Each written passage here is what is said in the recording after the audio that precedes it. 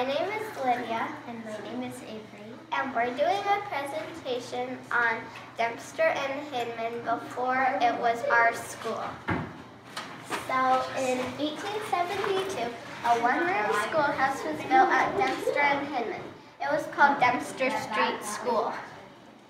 In 1881, Dempster Street School was moved to Benson Avenue and was used as the Second Baptist Church until destroyed by fire September 1889.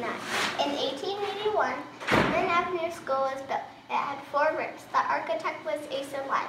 In 1894, two more rooms were added, and that's a picture of it. In 1898, Hinman Avenue School was replaced by a new building.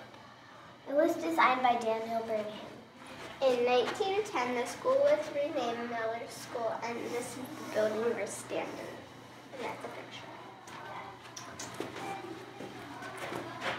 In 1949, Caraval, uh, Miller School added an, an uh, another building which was called the Annex to the north side of the building.